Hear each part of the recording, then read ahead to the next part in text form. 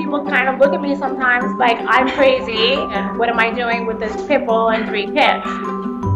For me, it's just, I'm proud to walk with them. I'm so proud to be a pit bull mom. I was following the Puerto Rico Dog Fund and they posted his rescue. Him in the car, like his crusty eyes. I just could see his soul and he reminded me so much of my Bronx that I just lost. I really just never thought I would get over it and then I saw Carlos. So he kind of like saved me too. He was found with what the vets determined to be a machete wound. Somebody was trying to end his life.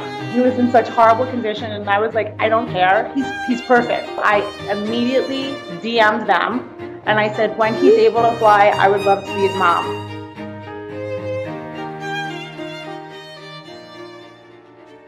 As the guys rolling him from cargo, I just I just started to cry. It was just it was so emotional. Hi, baby.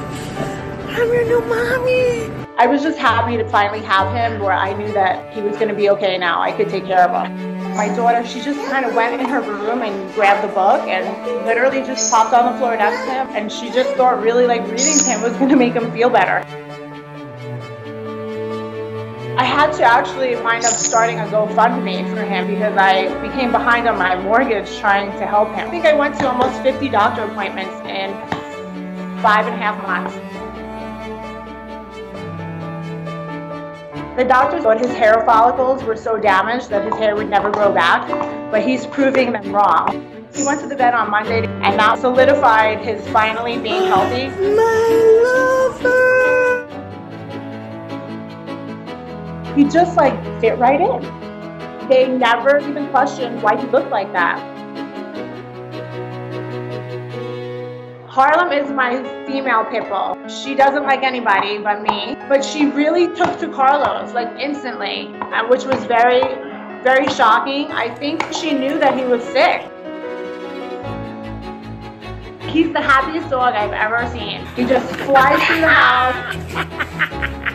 He loves to take towels. He loves to take blankets.